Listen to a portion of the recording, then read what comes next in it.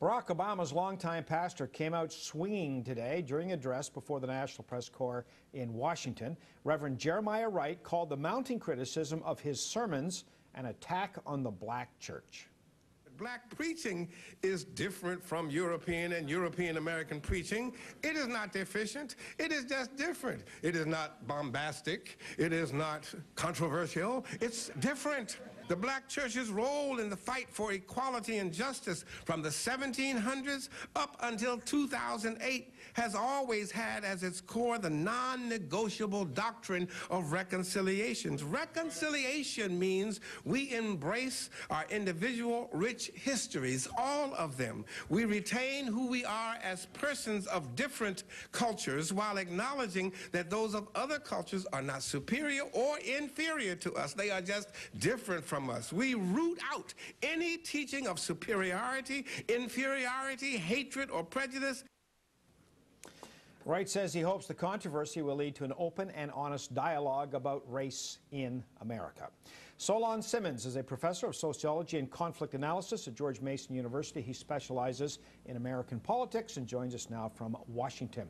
Mr. Simmons, speak to us about uh, what you heard the Reverend say today. What was his message?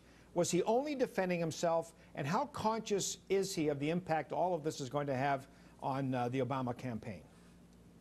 Well, Dan, it's been spun, I think, in the media mainly as a defense of himself, and it's understood that it's going to uh, it's going to hurt Obama in the long run. Almost everyone says this is bad for Obama. The Obama campaign admits it. It seems, though, that he's taken enough of the attack that he can stand and he wants to fight for what he believes is uh, his, the black church. I think that, it, that, it, that, we ought to take him at his word on that. Um, it, what's interesting is how different this appears when you, when you sit for the entire 40 minutes uh, as opposed to just watching what's covered uh, or, or, or, in the media afterward. And, and he's quite serious and interesting, even though he's incredibly theatrical and, and volatile. And so I, I, think that he's, he's taken the stand, even though I think he's clearly still supporting Obama. You can see that in the subtle message. He even make, he alludes to it here and there. He's trying to say, look, I'm independent of all of this, and I'm standing now for the church, which is in some ways bigger than the Obama candidacy, because he sees it as at, at the core of the African American experience. So I personally, watching both in the Detroit speech and also this morning in D.C., I think that this is a, a slightly more serious person than, than we've uh, been uh, giving him credit for as of late. Now, you talked about the clips that have been airing on television. Uh, we're going to run one right now, and maybe you can address what we hear in this clip. Sure. Here's the Reverend. Sure. And why am I speaking out now?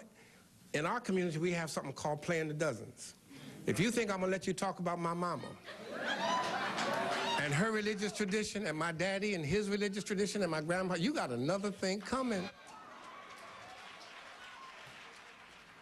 Now, I don't know that everyone would understand exactly what that means, but, but essentially right. he is standing up for himself, his family, and what he believes in. That's, that's why he's there. Is that what yeah. he's saying? Well, he's, I think it's a metaphor for uh, defending your own under certain circumstances. You know, when I, when I watch that, you, you have to play the clips, and this guy is almost made for television. That's why we love him, because, you know, he gives us exactly, he, you know, uh, he gives you what you want.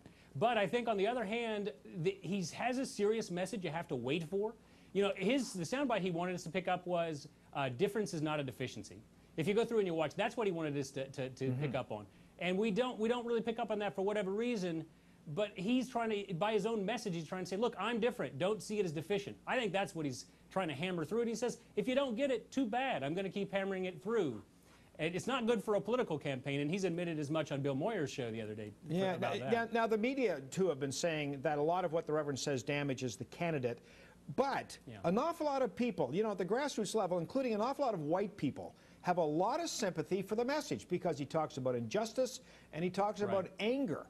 And, and, right. and a lot of the clips do come out of context. So the net effect of this is going to be what politically?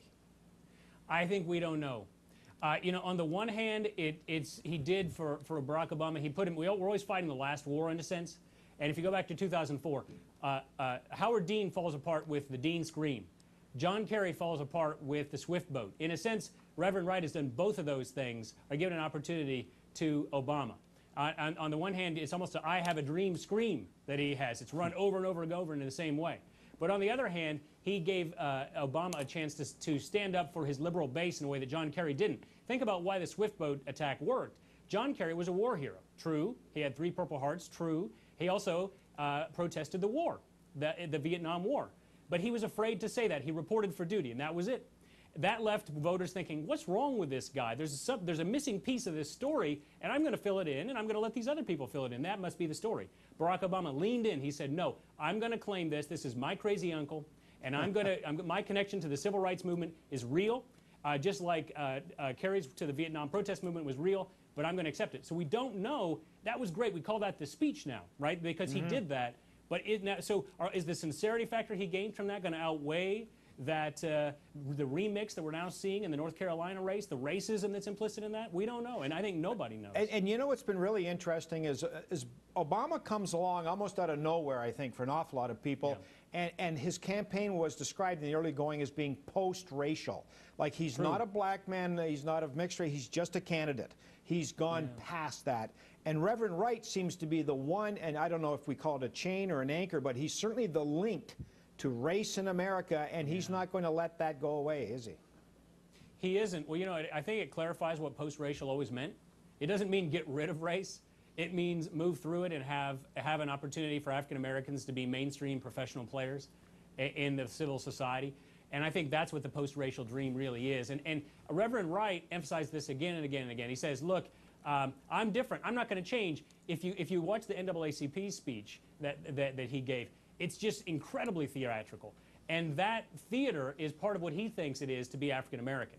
And he's not mm-hmm. apologetic, and he doesn't think anyone should be. And he wants, and I think he's saying to white America, especially mainstream white America, deal with it. Deal with that, and that's what post-race is going to be. Other than that, the messages are very similar. I mean, there's a lot of there's a lot of this kind of inclusiveness. It's not anti-gay, as some people said, or anti-Jewish or anti-Muslim. It's a very inclusive message that I saw in his speech. If you watch the whole thing. Solon Simmons, always nice to talk to you, sir. Thank you very much for your time. All right, thanks, Dan.